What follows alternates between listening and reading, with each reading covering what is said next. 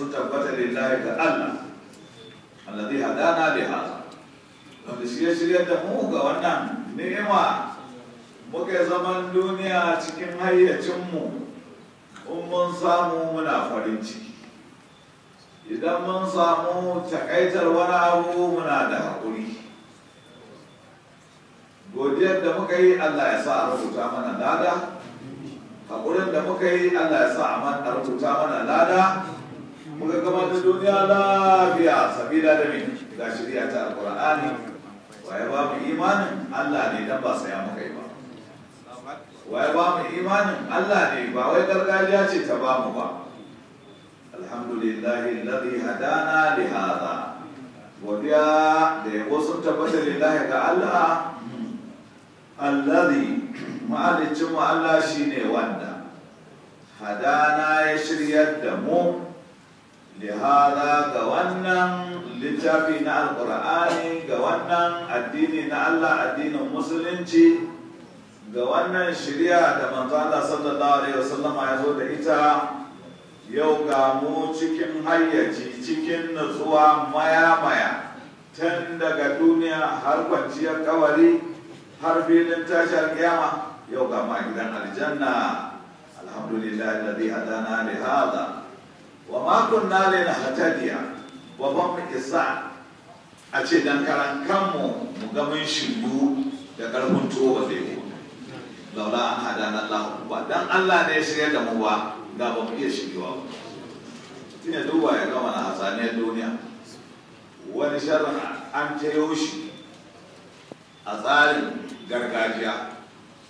A ce ka fito ana watsa gargajiyar ka tsallake ba ka yarda da ita ba. Ka yarda da musulunci da bin sunna wallahi sai rabu. Wallahi sai kariyar Allah. Allah kai muke wa godiya. Alhamdulillah rabbil alamin. Sa'ilan nan bala'i irin na san zuciya. Mutum yana ji yana gani. Sai ka je wa'azin gidan yare game da mu masu wa'azi muke gan abu mamaki. Ka ga mutum ya ya mutu. Menene ya ce? Ya cuci kansa da kansa. Su suka kashe wani. Ko su suka yi fashi kaza. Ko shi ya nemi matar wani. Ko shi ya kaza ya kaza ya kaza. Me ya sa ya ce? Zuciya. Ga gaban bun rai ya je wa dan adam cikin damuwa. Tun daga duniya in ma an kama shi ba kama shi ba. Don mutumin da ya je wata aika-aika ya sulage ya ɓuya to a can wurin goyon ma duk a dame yake. Don yana zulumin kar ta tashi kar a gane kar a kama shi. In ya kashe wani kuma shi ba abin da yake jin tsoro illa a kama shi a ƙarshe. Allah ya to ka gani ya jama'a ba shirya Allah ba. Da za ka wuce tarkon gargajiya lami lafiya tarkon son zuciya lami lafiya tarkon jahilci.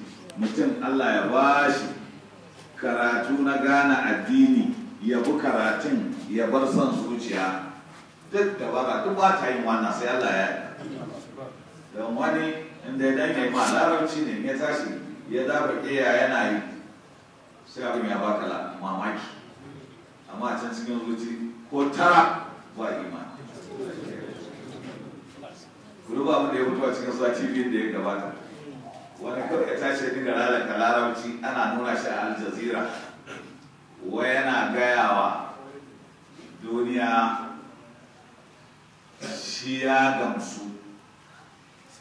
Wanda yake yahudu ko kirista ko ma wani irin matsafi ne wai idan musulmi ya tashi aurarwa da yarsa ko abawalitarsa ya ba wannan kafirin. Wai shi aka saboda menene bayan gashi Allah ya hana? Wala tankihul mushrikata hatta yu'min. Duk wata mai hada wani da Allah kakku aure ta.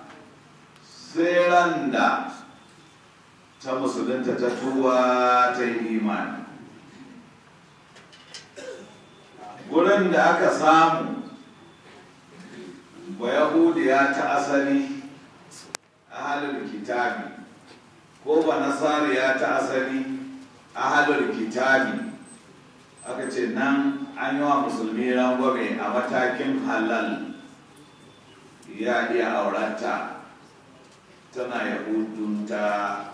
Ko ba nasariyata amma ba guri ɗaya tak da aka yaddarwa musulma ta auri kafiri yahudu ko musulma ta auri kafiri nasara ko musulma ta auri kafiri mushiriki na gargajiya to an hana. Waye mai hanawar? Allah ne. Shi kuma Allah baya ya halitta duniya don da can ba mu ba dalilin mu duk duniya. Shi ya san halin da bayan sa suke ciki a samai da ƙasa da abin da yake tsakani. Ba wani abin da Allah ya jahilta shi ya san yadda ƙarshen bayansa da zai kare ba da ma ka ce hukuncinsa. Yanzu tun zamani ya yi da ya ce kaza rashin sani ne yanzu kuma a dawo a yi kaza. Shi ya san daɗin ya san yanzu ya san na gaba ya san san da ba komai ba kowa cikin mu ya san ya daɗe wanda ya ɗeba mana ya san yadda kuma za a ƙare ba kowa ba komai din. Sai saukar da littafin alƙur'ani ya ce inna hadha alqur'ana yahdi lillati hiya aqwam wa yubashshiru almu'minina alladhina ya'maluna as-salihati anna lahum ajran kabira. Lalle wannan alqur'ani ya hadi yana shiyar da bayi lillati ga hanyar nan wacce take hiya aqwam. Ita ce mafi miƙewa daidai wa daida. Wanda yake tafiya kan shirya alqur'ani ya bi daidai. Ba gargada ba gada ba kwana ba bacewa har cikin gidan aljanna Allah ka kai mu da rahamarka. Kuma alqur'ani nan wai bashirar mu'minin yana yi wa masu imani albishir ya ba da labarai na faranta rai. Imani a musulunci ba riyawa ce da baki kawai ba ya ƙunshi zuciya ta kudurta gaskiyar la ilaha illallah muhammadu rasulullah sallallahu alaihi wasallam. Baki ya faɗa wanda ya sami iko ba kurma ba ba bebe ba. Sannan gabai su yi aiki da tauhidin nan su nesanci shirkan nan a fili ko a ɓoye.